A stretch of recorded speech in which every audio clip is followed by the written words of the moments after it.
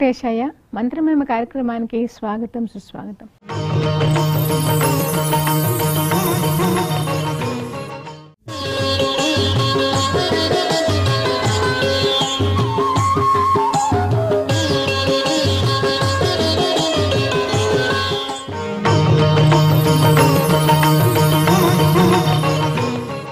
ఈ సంప్రదాయాలు సంస్కారాలు ఏవైతే ఉన్నాయో నలభై ఎనిమిది ఇవన్నీ లోకంలో శాస్త్రబద్ధంగా పాటించడం లేదు.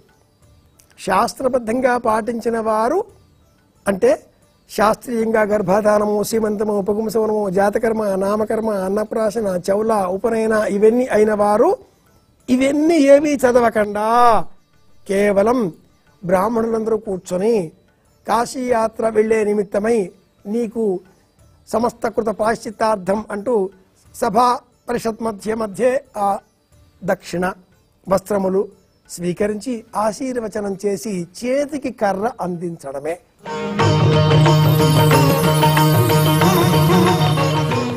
మంత్రమయమ కార్యక్రమంలో మనము వివాహము విశేషార్థము. వివాహం నుంచి ప్రస్తుత వ్యవస్థలో వివాహం గురించి దాని యొక్క మంత్రాలతో మనము ఆ వివాహ వ్యవస్థను బాగుపరచాలి. ఆ వివాహ వ్యవస్థను మంత్రాల్ని మనం నమ్మి చేస్తే ఆ వివాహ వ్యవస్థ పవిత్రంగా ఉంటుందనే ఉద్దేశంతో ఈరోజు ఈ వివాహ విశేషార్థాన్ని మనకు అధ్యాపకులు ప్రవచనకర్త డాక్టర్ కాకునూరు సూర్యనారాయణమూర్తి గారు అడిగి తెలుసుకుందాం.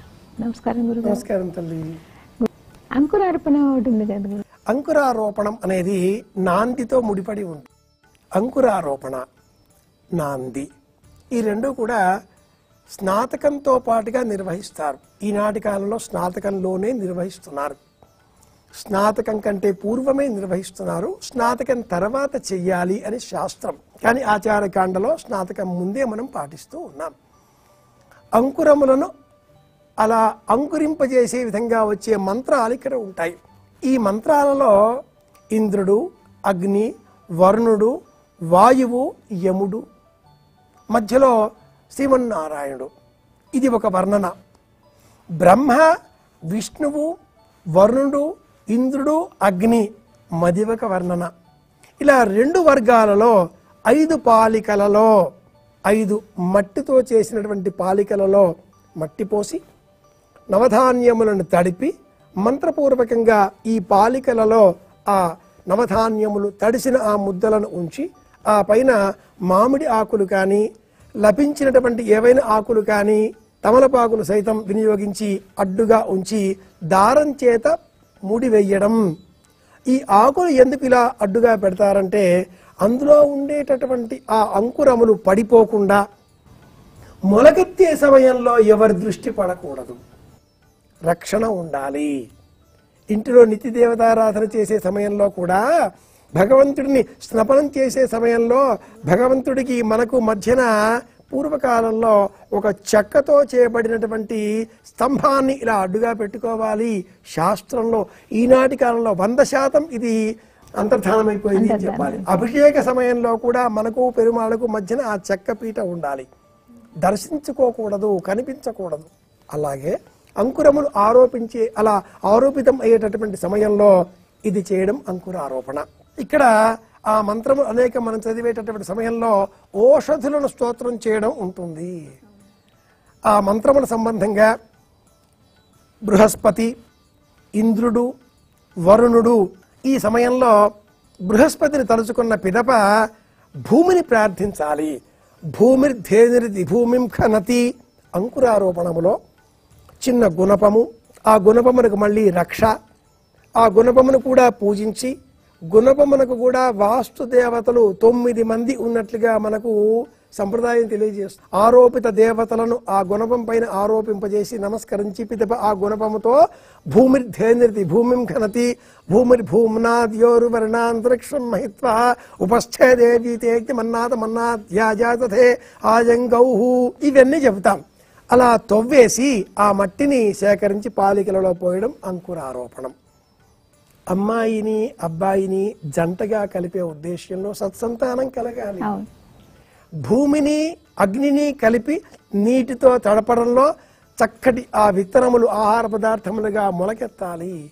అది ఏ విధంగా వ్యవసాయ యజ్ఞంగా చెప్పబడుతున్నదో ఇది కూడా అదే విధంగా గృహ యజ్ఞంగా గృహస్థ యజ్ఞంగా చెప్పబడుతున్నది. ఇలాంటి సంస్కారంతో మనం ఈ అంకురారోపణం చేస్తాం. అంకురారోపణ చేయగానే నాంది.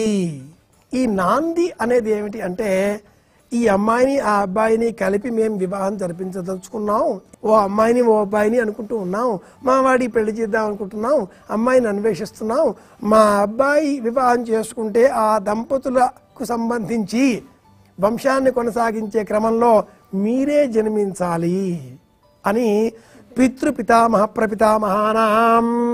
పెద్దలను స్మరించుకోవడం. ఒక మాట ఉంది తెలి తెలుగు మాట చెప్తూ ఉంటారు. పెండిల్లో తద్దిన మంత్రాలు అని చెప్పేసి. ఇదిగో ఇవే. ఇవే. నిజంగా ఉంటాయి. కానీ వాళ్ళు చాలా సంతోషపడతారంట. మన వంశంలో పెళ్ళి అవుతుందంటే మళ్ళా మనం పుట్టడానికి ఒక అవకాశం కల్పిస్తున్నారు కదా అని పెద్దలందరూ చాలా సంతోషంగా వస్తారట. అవునమ్మా. ఇంకా ఏం చేస్తారంటే అక్కడ వాళ్ళ పేర్లు చెప్పరు కదా? పేర్లు చెప్పరు. కానీ పెద్దలు అని చెప్తారు కాబట్టి ఆ పెద్దవాళ్ళు పెద్దోళ్ళు పెద్దోళ్ళు ఎంతమంది ఉంటారు కదా వాళ్ళు మళ్ళీ పుట్టడానికి అవకాశం కోసం వెయిట్ చేస్తుంటారట. అవునమ్మా. అందుకని మళ్ళా వస్తారట. ఇంకా ఏం చేస్తారంటే అక్కడ మట్టి గురి కూడా పెడతారు. అవును. ఇంకా ఈ అప్పడం పాపడం లాంటివి కూడా పెడతారు కదా ప్రాంతీయ ఆచారాలలో. పొంగలి పెడతారు. శాస్త్రంలో సూత్రీయ భట్టీయ పాఠాలలో మినపపప్పు పెసరపప్పులతో వినియోగించి చేసినటువంటి అప్పడం వడియం ఇవి మాత్రమే ఉంచాలి. ఆరంభంలో పెండి కొడుకును చేసే సమయంలో లేక పసుపులను చిట్లించేటటువంటి సమయంలో ఎక్కడైతే కన్యావరణం కంటే పూర్వం వివాహం నిర్వహిద్దాం అనుకున్న సంకల్పంలో కొట్నం అన్న పేరిట నిర్వహించిన ఆ విసురాయి రోలు రోకలి వాటిని వినియోగించి సేకరించిన మినపపప్పు పెసరపప్పు పసుపు మిశ్రమాలు ఉంటాయో వాటితో అప్పడాలు వడియాలు పెడతారు. వాటిని ఇక్కడ సిద్ధం చేసి వాటిని పితృదేవతలకు అందించడం. వసురుద్ర ఆదిత్య రూపాణం చెప్పి ఇడ ఏహి అదిత ఏహి సరస్వత్యేహి అని చెప్పి వాడిని ఆహ్వానిస్తారు. ఇక్కడ నాలుగవ గోదానం గోదానం జరుగుతుంది. గాం ఉత్సృజత అని చెప్పి గోవును విడిచిపెట్టాలి. గోదానం అంటే అర్థం ఒక గోవును నేను స్వీకరించి నా పశువుల కొట్టంలో కట్టేసుకొని నేను మాత్రమే దాని ద్వారా లభించే పాలను స్వీకరించి నా కుటుంబ పోషణ అని మాత్రమే కాదు గోవును సంరక్షించడం గోవులను అందరికీ అందించడం. గోవును విడిచిపెట్టడం. గోవును ఎప్పుడూ హింసించరాదు. గోసేవ చేసిన కారణంగానే రఘుమహారాజు జన్మించాడు అంటుంది దిలీప చక్రవర్తి వృత్తాంతం. గోవులను మనమంతా కాపాడుకోవాలి. ఇక్కడ నాంది సమారాధనలో గతించిన పితరుల పేర్లు చెప్పకుండా వసురుద్ర ఆదిత్య రూపాణం అని చెప్పేసి ఆహ్వానించి ఆ తదుపరి కులదేవత అన్న పేరిట మీరు చెప్పిన ఆ పొంగలి. ఒకటి కులదేవత రెండవది నాంది మూడవది మంటపాహ్వాహన సంబంధిత సమస్త దేవతలకు ఈ పొంగలి పీఠ ఆవాహిత దేవతలకు తదుపరి వాకిలిలో పందిరి కట్టినట్లయితే ఆ పందిరి పైన కూడా కాసింత నైవేద్యం తీసుకువెళ్ళి పెట్టి నమస్కారం చేస్తారు. అది మూడవ నైవేద్యం అవుతుంది. పొంగలి ఉడకబెట్టి పెట్టవచ్చు లేదా పెరుగు మినపపప్పు పెసరపప్పు కలిపి పెట్టవచ్చు లేదా అప్పడాలు వడియాలు పెట్టవచ్చు బెల్లం ముక్క పెట్టవచ్చు. ఎలా చేసినా అంకురారోపణ నాంది కులదేవతా స్థాపన. ఈ మూడు వరుసగా ఒకదాని వెంట ఒకటి నిర్వహిస్తారు. తదుపరి స్నాతకం చేస్తున్నారు ముందుగా కూడా చేయవచ్చు. వీటితో పాటుగా కులదేవత అనేది మనం ప్రత్యేకంగా గమనిస్తే కుల వంశ వృక్షం అనేది కూడా ఒకటి ఉంటుంది. నక్షత్ర చింతామణి అనే అపురూపమైనటువంటి జ్యోతిష గ్రంథంలో ఏ నక్షత్రానికి ఏ వృక్షం మేలు కలిగిస్తుందో శాస్త్రీయంగా చెప్పబడి ఉంది. నక్షత్ర చింతామణి ఆ గ్రంథం పేరు. ఈనాటి కాలంలో అనేక మార్గాల ద్వారా నక్షత్రాలకు సంబంధించిన మొక్కలను మనం తెలుసుకుంటూ ఉన్నాం. దైవాద్వా తిరుమల తిరు దేవస్థానం వారు మన పవిత్ర వృక్షాలు అన్న పేరిట పరమాద్భుతమైన గ్రంథాన్ని ప్రచురించి ఉన్నారు.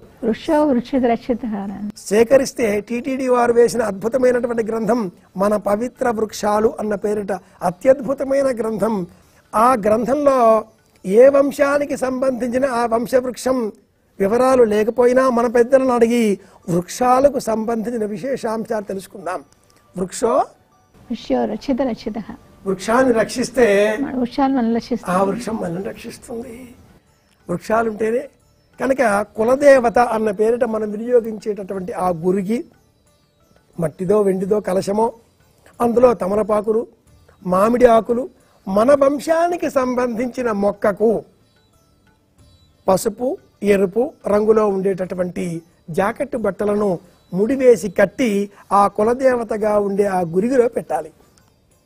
అందులో బియ్యం పొయ్యాలి ధాన్యం పొయ్యాలి వడ్లు పొయ్యాలి జొన్నలు పొయ్యాలి. ఇది కులదేవత స్థాపన.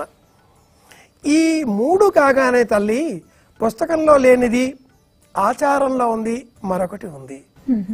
ఐరేణి కుండలు ఉన్నాయి ఆచారంలో ఉన్నాయి. ఆచారంలో ఉన్నది పుస్తకంలో లేనిది అని చెప్పాలి. ఇంద్రాణి ఇంద్రమధ్యాగం సహిత ఇంద్రాణి ఐరేణి కుండలు. రెండు ఘటస్థాపన అన్న పేరిట ఈ ఆచారాన్ని మనం పాటిస్తాం. వివాహం ప్రధానంగా వేదికపైకి వెళ్ళడం ఆ అమ్మాయిని ఆహ్వానించడం కన్యా దానం లేక సుముహూర్తం ఆ వెను వెంటనే కన్యాదానం జీలకర్ర బెల్లం చెబుతాం ముహూర్తం అంటాం కన్యాదానం అంటాం మంగళసూత్రం అంటాం తదుపరి తలంబ్రాలు అంటాం ఆ తర్వాత కొంగు ముంగులు ఉడివేయడం ఆశీర్వచనం. అరుంధతి రక్షణ సంప్రదాయం. ఇదే ప్రధానం. వేడుకలలో ఒకటి ఇంద్రాణి. నీటి కుండ ఒక ఘటస్థాపన అన్న పేరిట రెండు సమానంగా ఉండే కుండలు. ఒక కుండ కాసింత మాత్రమే చిన్నదిగా ఉండాలి. మరీ రెండు సమానంగా ఉండకూడదు. మరీ రెండు పెద్దవిగా కూడా ఉండకూడదు. ఇంటికి నైరుతి దిగ్భాగంలో లేదా స్నాతకం ఎక్కడ నిర్వహిస్తున్నారో అక్కడ నైరుతి దిగ్భాగంలో నేలపైన చక్కగా గోమయంతో గోపంచితంతో అలికి ఇసక పోసి లేక మట్టి పోసి నవధాన్యములను వృత్తాకారంలో ఆ మట్టిలో పోసి మధ్యలో అలంకరించినటువంటి రెండు కుండలను ఏర్పాటు చేసి ఆ కుండలలో ముత్తైదువలు పసుపు కలిపిన నీటిని తీసుకువచ్చి అందులో పోస్తారు. ఆ నీటిని అందులో నింపే సమయంలో ఆప ఇద్వా ఉభేషజీ ఆపో అమీ బచాతని ఆప సర్వస్య భేషజీ. ఇలాంటి అపహ నీటికి సంబంధించిన వారుణ సూక్తములను చదువుతారు. నీరు వినియోగిస్తేనే ఆరోగ్యం. పారుతున్న నీరు పంటలు పండించు పారకున్న నీరు పాచిపట్టు. నీరు ప్రవహించాలి. ఇల్లు నిర్వహించాలి నీరు కావాలి. సంస్కారం సంప్రదాయం సనాతన ధర్మం ఏది మనం నిర్వహించుకోవాలి అన్నా నీరు కావాలిగా? కనుక ఆ రెండు ఘటములలో నీరు నింపి ఆ పైన పాలికలు ఉంచి వాటిపైన ఈ నెత్తికి అలంకరింపజేసేటటువంటి భాషికములను వాటిపైన ఉంచి పూజిస్తారు. వివాహానికి సంబంధించిన వినియోగించినటువంటి సమస్తములైనటువంటి ఉపకరణములను ఆ దిక్కున పెడతారు. రోలు రోకలి ఇంకా ఏవైతే వినియోగించామో చేట తదుపరములు అక్కడ పెట్టి నమస్కారం చేస్తారు. నైరుతి దిగ్భాగంలో కానీ దక్షిణ దిగ్భాగంలో కానీ వీలు కుదరకపోతే ఆ గదిలో ఆగ్నేయ దిగ్భాగంలో కానీ వీటిని ఉంచాలి భద్రపరచాలి. ఇది మనం ఈ ఉత్సాహంలో స్నాతక వ్రతంతో భాగంగా నిర్వహించుకునేటటువంటివి అర్హని అంటారు కదా గురువు గారు అర్హని. అర్హణీయ ఆపహ ఆమాగనిత్యేష ఈ మంత్రం చెబుతూ ఆపహ. నీటికి సంబంధించిన ఆ నీటికి సంబంధ సూక్తాలనే చెప్పడంలో ఈ అర్హణీయ అన్న సూక్తాన్ని చదువుతారు. అపహ వారుణ సూక్తాలలో ఒకటైనటువంటి అర్హణీయ అనే ఆ పదాలన్నీ కూడా ఇది మళ్ళీ వివాహంలో కూడా చెబుతారు. అనేక మార్లు ఇదే మంత్రం ఇదే మంత్రాలు వస్తూ ఉంటాయి. ఎందుకని అంటే వివాహం అంటే విశేషంగా వహించేది అని అర్థం. తలంబ్రాలను పోసే సమయంలో కూడా ఈ వరుణుడు అగ్ని ఇంద్రుడు వరుణుడు నలుగురు వస్తారు. అలాగే అమ్మాయిని యజ్ఞాగాది కర్తవులు నిర్వహించే సమయంలో స్థాళీ హోమము అవి నిర్వహించే సమయంలో కూడా ఈ నలుగురే వస్తారు. అనేక సందర్భాలలో ఇలా చెబుతూ ఆపహ నీటితో ఆ మంత్రాలను చెబుతూ వాటిలో నీరు పొయ్యాలి ఈ రెండు ఇంద్రుడు ఇంద్రాణి శివ శివా భవుడు భవానీ ఇలా చెప్పుకుంటూ ఈ రెండింటిలో ఉండే నీటిని క్రతువు అంతా పూర్తి అయిన తదుపరి ఇందులో ఉండే నీటిని అందులో అందులో ఉండే నీటిని ఇందులో చెంబులతో తదుపరి పోసి మళ్ళీ ఈ నీరు చిట్ట చివరిలో ఉపయోగించాలి. వివాహం అయిన తరువాత అమ్మాయిని వెంట పెట్టుకుని అబ్బాయి ఇంటిలోని వచ్చిన తర్వాత ఒక బిందె వేసి బిందెలో ఉంగరము మెట్టె వేసి తీసియండి అని చెప్పేటటువంటి సంప్రదాయంలో ఈ ఐరేణి కుండలలో ఉండేటటువంటి నీటిని అందులో పోసి వీటిని కదిలిస్తారు. వీటికి ఇక ఉద్వాసన ఘటస్థాపన అన్న పేరిట ఏ ఇంటిలో నీరు ఉంటుందో ఆ ఇంట్లో ప్రేమ ఆప్యాయతలు ఉంటాయి. ఇది కథ. తర్వాత గురుగారు వరపూజ చేస్తాం కదా వరపూజ గురించి చెప్తారా మంత్రాల గురించి? తప్పకుండా. తదుపరి ఆ అబ్బాయిని మళ్ళీ అలంకరిస్తారు. అయిపోయిన తర్వాత ఆ అబ్బాయి పెళ్ళి మంటపానికి వేదిక వద్దకు వస్తాడు. వచ్చే సమయంలో హిరణ్యవర్ణ ఇది అభిమృషతి ఆ పిల్లవాడిని హిరణ్యవర్ణ ఇది పంచసూత్రాలు ప్రశ్నించాలి. అమ్మాయిని అల్ అభిషేకించే సమయంలో ఆ మంత్రాలు చదువుతూ ఉన్నారు. వచ్చిన ఆ అబ్బాయిని వేదిక పైన కూర్చుండబెట్టి ఆ వేదిక పైన కాసింత ఎత్తుగా ఉండే పీట వేయాలి. ప్రత్యేకంగా పెండ్లి పీట అంటూ సిద్ధం చేయిస్తారు. పూర్వకాలంలో ఈ పెండ్లి పీట ముగ్గురు కూర్చునే నిమిత్తమై సిద్ధం చేసేటటువంటి వారు. అఖండంగా ఉండే ఒకే చెక్క ముక్క. దాంట్లో రెండు భాగాల మధ్యలో ఇలా గుర్తిస్తే మూడు ముక్కలుగా కనిపించేది. ఈ పక్క ఆ పక్క అమ్మాయి తల్లిదండ్రి మధ్యలో అమ్మాయి అది పెండ్లి పీట. ఎదురుగా ఉండే ఎత్తైన పీటపై అబ్బాయి కూర్చుండబెట్టి వరపూజ అన్న పేరిట అబ్బాయికి పాద ప్రక్షాళన చెయ్యాలి. ఇక్కడ కూడా మళ్ళీ కన్యాదాత అన్న లేక తమ్ముడు వాళ్ళు కాళ్ళు రెండవసారి కడగాలి రాగానే ఒకటి. ఎదుర్కోలు. ఇది రెండవసారి. ఇక్కడ కాళ్ళు కడిగే సమయంలో మళ్ళీ అలంకరించాలి. యజ్ఞోపవీతం వెయ్యాలి. ద్వితీయ యజ్ఞోపవీతం శివశ్వర దత్తం ఆ కన్యాదాత తండ్రి రెండవ యజ్ఞోపవీతాన్ని వెండితో చేసినది అబ్బాయికి అలంకరిస్తాడు. యజ్ఞోపవీతం వేసుకునే సమయంలో ఉపవీయ దక్షిణం బాహుముద్ధరతేవ ధత్తే సవ్యమితి యజ్ఞోపవీతమే తదేవ విపరీతం ప్రాచీనాభీతగం సంవీతం మానుషం. సంవీతం హారంలాగా వేసుకోవడం. మానుషపరమైన క్రియ చేసే సమయంలో గృహస్థ ధర్మంలో ఉండి వైవాహిక వ్యవస్థ నిర్వహణలో సత్సంతానం కలగాలి. హారంలాగా వేసుకోవాలి ఈ యజ్ఞోపవీతం. దేవకార్యమును చేసేటటువంటి సమయంలో భుజం పైన ఎడమ భుజం పైన ఉండి కుడి చేతి దిగువగా ఉండాలి. పితృకార్యం నిర్వహించే సమయంలో కుడి భుజం పైన ఉండి ఎడమ చేతి క్రిందిగా ఉండాలి. మానుష క్రియ నిర్వహించే ఈ వివాహ వ్యవస్థలో మెడలో హారంలాగా వేసుకోవాలి. సర్వవర్ణాల వారు ఈ హారానికి యజ్ఞోపవీతానికి సన్నగా దారం పోగులాగా ఉంటుంది అనేటటువంటి ఆలోచనలతో లభిస్తుందో లేదో అన్నట్లుగా పూలదండ కూడా వేస్తారు. అది కూడా శాస్త్రీయమే. అందులో కూడా దారమే ఉంటుంది కదా ఎన్నుకుంటున్నాం కదా. కనుక కన్యాదాత తల్లి తండ్రులు ఆ వరుడి మెడలో పూలదండ వేస్తారు. ఈ పూలదండలు కూడా ప్రాంతీయ ఆచారాలకు లోబడి ఇలా ఎక్స్ కనిపించే విధంగా ఒక ప్రత్యేకమైన పద్ధతిలో కూడా వాటిని సిద్ధం చేస్తారు. తిరుమలలో స్వామివారి వైభోగంలో ఏ విధంగా అనేది ప్రత్యేకంగా ఆ పూలమాలను సిద్ధం చేస్తూ ఉంటారో మాలికలను అలాగే ఈ కన్యా వివాహ సంబంధిత వ్యవహారాలలో వర నిశ్చయంలో అబ్బాయి మెడలో ధరింపజేసేటటువంటి పుష్పమాలిక చాలా ప్రత్యేకతతో కూడుకుని ఉంటుంది. ఈనాటి కాలంలో అనేకులు పుష్పాలను ఇలా విడదీసి ఆ రెమ్మలతో రెక్కలతో పుష్పమాలికలను సిద్ధం చేసి వాటిని అలంకరిస్తున్నారు.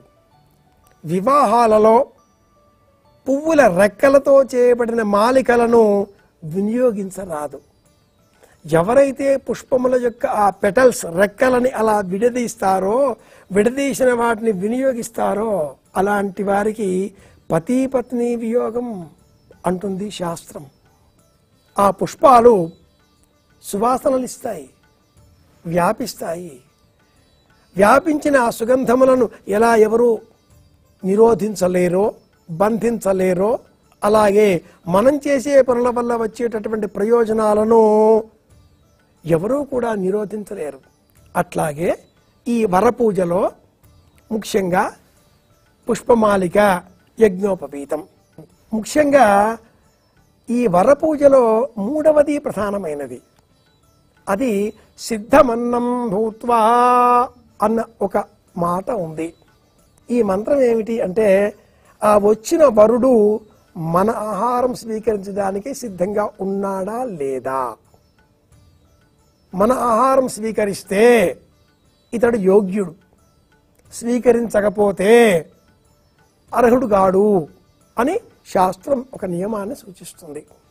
సామాన్యంగా ఇక్కడ కొబ్బరి కొడకలో పెరుగు బెల్లం కలిపి ఆ మిశ్రమాన్ని చేతికి అందిస్తారు. మూడు సార్లు అతడు తీసుకోవాలి. అపహ నీటిని స్వీకరించి తదుపరి ఈ పెరుగు బెల్లమును సిద్ధం చేసిన దానిని చేత వేసిన పిదప ఎవరు వెయ్యాలి? కన్యాదాత. తల్లి వేస్తుంది సామాన్యంగా. ఇక్కడ ప్రతి వ్యక్తికి ఐదుగురు తల్లులు ఉన్నట్లుగా మంత్రం చెబుతుంది.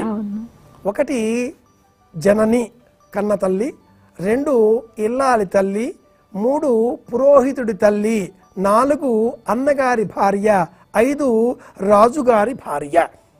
ఈనాటి కాలంలో రాజులు ఎవరండి? అంటే దేశాన్ని పరిపాలించే ముఖ్యమూర్తి మనకు రాజు.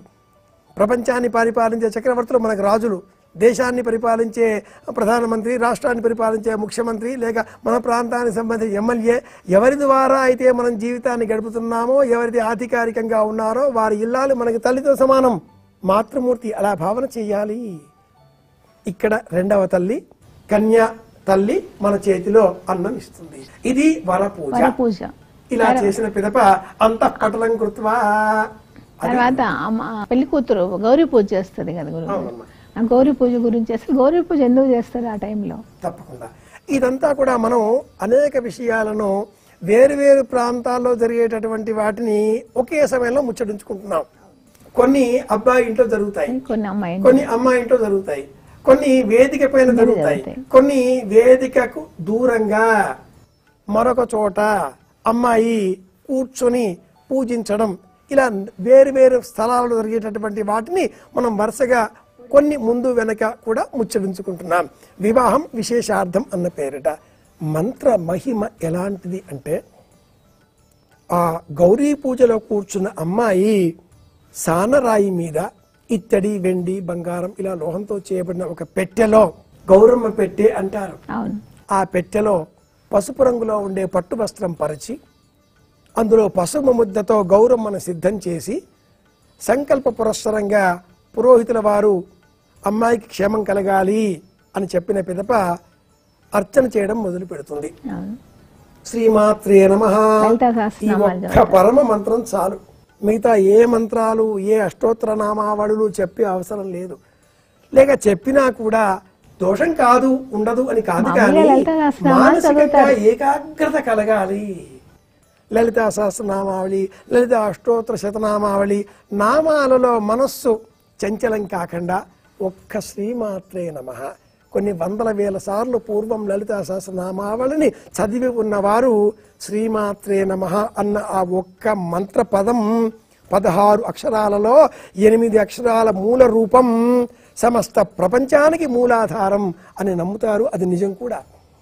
ఏం చెప్పినా ఏం చేసినా గౌరీ పూజ ఎందుకు అంటే పురాణాలలో ఇలాంటి భర్త నాకు కావాలి అంటూ పార్వతీదేవి తపస్సు చేసింది. రుక్మిణీదేవి తపస్సు చేసింది. సీతాదేవి దేవతను ధ్యానం చేసింది. ఇక్కడ ప్రత్యేకంగా అమ్మవారు ధ్యానం చేసింది అని కాకపోయినా సీతాదేవి నిత్య జీవిత వ్యవహారాలలో కూడా గౌహు అన్న శబ్ద ప్రయోగం అనేక మార్లు వాల్మీకి మహర్షి వారు వినియోగించి ఉన్నారు. గోసేవ చేస్తే కూడా లక్ష్మీదేవిని సేవించినట్లే.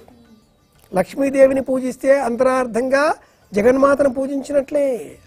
కనుక సానరాయి ఆధారం చేసుకొని సానరాయి పైన వస్త్రం పరచి దానిపైన గౌరమ్మ పెట్టే దీనిని ఆ అమ్మాయి జీవితాంతం ఇంటికి తీసుకువెళ్ళి పూజించాలి. అత్తవారింటి వెంట అమ్మాయి వెంట పంపించవలసింది సారే అని అబ్బాయి తరఫు వాళ్ళు ఎదురు చూస్తూ ఉంటారు. కానీ నిజంగా వెతకవలసింది ఉందా లేదా అని చూసుకోవలసింది గౌరమ్మ పెట్టే. సారెలో పంపించే అరిసెలో అతిరసాలో లడ్డూలో జిలేబీలో జాంగిరిలో జనాలు తినేస్తారు కానీ జీవితాంతం మన వెంట ఉండేది ఈ గౌరమ్మ పెట్టే గౌరీ పూజ. అమ్మాయి గౌరీదేవిని పూజించే సమయంలో ఆ గౌరమ్మ ఐదు బొడిపెలతో ఉండేటటువంటి పసుపు ముద్ద సిద్ధం చేసుకోవాలి అని మనకు సూత్రీయం వివరిస్తుంది. ఐదు బొడిపెలు ఆ పసుపు ముద్దకు ఉండాలి. అనేకులు ఈనాటి కాలంలో ఇలా ఒకటే ఐస్ క్రీమ్ కోన్ లాగా చేసేస్తున్నారు. అలా కాదు సుమి. ఐదు కోణాలతో అంటే ఎనిమిది భాగాలుగా ఆరు భాగాలుగా కనిపించే షట్కోణంగా ఉండే ఫోర్ స్క్వేర్ బాక్స్ అనుకుందాం కాసేపు. ఆరు కోణాలు ఒకటి రెండు మూడు నాలుగు పైన కింద. ఆరు బిళ్ళపరపులుగా ఉండే భాగంలో పై భాగం కాస్త ఇలా ఐదుగా ఒత్తితే వచ్చేది గౌరమ్మ. ఆ ఐదింటికి గణపతి పార్వతి విష్ణువు సూర్యనారాయణమూర్తి మధ్యలో శివుడు పంచాయతన స్వరూపం. అలాగే మరొక రూపంలో గణపతి కుబేరుడు విష్ణువు ఇంద్రుడు మహాలక్ష్మీ స్వరూపం. ఇది లక్ష్మీ పంచాయతనం. మూడవ విధానంలో గణపతి ఇంద్రుడు కుబేరుడి స్థానంలో ఇంద్రుడు శ్రీమన్నారాయణమూర్తి ఈ పక్కన కుబేరుడు చేరతాడు. కుబేరుడు ఇంద్రుడు మాత్రమే స్థానాలు మార్చుకుంటారు. మధ్యలో మట్టుకు మహాలక్ష్మి. ఇది లక్ష్మీ పంచాయతనం. ఈ పంచాయతనాన్ని ఆ గౌరమ్మ ప్రతిమ పసుపు ముద్ద అందులో ఆవాహితం చేసి అమ్మాయి చక్కటి వరుడు నాకు భర్తగా రావాలి అంటూ స్తోత్రం చేస్తూ ఉంటుంది. ఇక్కడ నేను వివాహం చేసుకుపోయే అమ్మాయిని నా స్నేహితులందరికీ చూపించాక వాట్సాప్ గ్రూపులో మరింకేదో చూపించాక ఒప్పుకుంటే అదేమిటి? అలా మారిపోతుంది. చాలా విపులీకరించి చెప్పారు గురుగారు ధన్యవాదాలు. కృష్ణ ఇది ఈనాటి మంత్రమేమ కార్యక్రమం. మనము కార్యక్రమంలో చాలా విషయాలు గురువుగారితో ముచ్చటించుకుంటున్నాము. ఇంకొన్ని విషయాలు పై వారంలో ముచ్చటించుకుందాం. ఓం నమో వెంకటేశాయ. కన్యాదానం ముందా? మంగ మాంగళ్యగారడం ముందా? ఏది ముందు జరుగుతుంది గురుగారు? వరపూజ అయిన తదుపరి వరుడికి సంబంధించినటువంటి నలుగురు బ్రాహ్మణులు ఇప్పుడు ఆ పిల్లవాడు నలుగురికి ప్రసుగ్మంతా ధియసానస్య సక్షని వరేభిర్ వరాగుం అంటూ తాంబూలాలు అందిస్తాడు. మళ్ళీ ఇప్పుడెందుకు? ముందే పంపారు కదా. అంటే ఇప్పుడు మళ్ళీ వెతకండి. ఆ అమ్మాయి ఎక్కడో ఉంది. ఎక్కడైనా ఉండొచ్చు. ఈనాటి కాలంలో మనం చాలా చూస్తూ ఉంటాం. ఒక అమ్మాయి పూజ చేస్తూ ఉంటుంది ఇంకెవరో అమ్మాయి వచ్చి కూర్చుంటుంది ఇతడు కాదు కట్టేస్తూ ఉంటాడు. ఇలాంటివి చూస్తూ ఉన్నాం. ఇలాంటివి జరగకుండా. ఎవరైతే అమ్మాయి నాకు నిశ్చయింపబడి ఉన్నదో ఆ అమ్మాయి దగ్గరికి వెళ్ళండి అంటే వీరు వెళ్ళి ఆ అమ్మాయి కూర్చున్న చోట అబ్బాయి గోత్ర ప్రవరలు చదువుతారు.